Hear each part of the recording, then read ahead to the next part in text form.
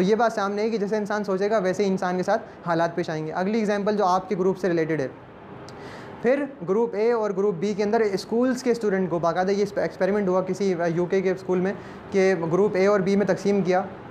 For example sir Junaid को group A दिया गया और सर अशफाक सर अशफाक को ग्रुप बी दिया गया। आ, सर जुनेद को बताया गया कि ग्रुप ए के स्टूडेंट बड़े बड़े ही नालायक हैं बड़े ही डफ़र हैं और हर टेस्ट के अंदर फ़ेल होते हैं। और हर पेपर में ये फ़ेल हो जाते हैं। लेकिन ऐसा नहीं था। ग्रुप ए वाले स्टूडेंट क्या थे? बड़े ही लाइक थे, बड़े ही काबिल थे।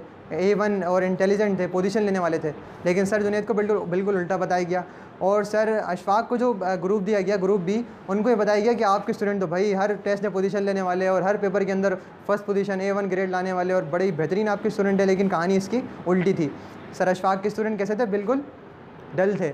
और सर जुनेद वाले बिल्कुल लाइक थे। अच्छे थे इंटेलिजेंट थे, लेकिन बिल्कुल रिवर्स बताया गया। जब सर जुनेद ने उनको असेस किया, वाइवा के थ्रू उनसे सवाल किए तो आप क्या समझते हैं, कौन सा रिज़ल्ट आया होगा? ग्रुप ए वालों का जो इंटेलिजेंट थे। वैसे ही आया होगा कि सारे जवाब दिए होंगे, ऐसा नहीं हुआ। ग्रुप ए वालों ने सर जुनेद की उम्मीदों के मुताबिक जवाब दिए। जैसे उन्होंने सर सर जुनेद ने सोचा हुआ था, सर जुनेद तो नहीं थे, वो कोई और थे, मैं नाम सर जुनेद का ले रहा हूँ। तो जैसे सर ने सोचा हुआ था, वैसे ही स्टूडेंट्स ने रिस्पॉन्स किया, हालाँकि वो बड़े ही जहीन तरीन लोग थे। लेकिन रिस्पॉन्ड वैसे ही किया जैसे सर की उम्मीदें थीं, जैसे सर ने उनके बारे में सोचा हुआ था। और जो सर अशफाक को स्टूडेंट्स दिए गए थे, वो बड़े ही नालायक थे।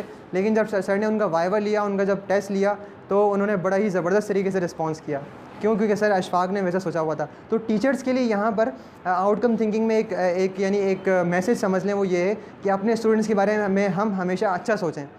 अच्छा सोचें उनको पॉजिटिविटी की तरफ़ लाएँ। उनके बारे में हमेशा माइंड के अंदर अच्छा सोचें कि वाकई ये कुछ कर सकते हैं। जैसे हम सोचेंगे, वैसे ही वो सामने रिज़ल्ट देंगे। So this is the outcome thinking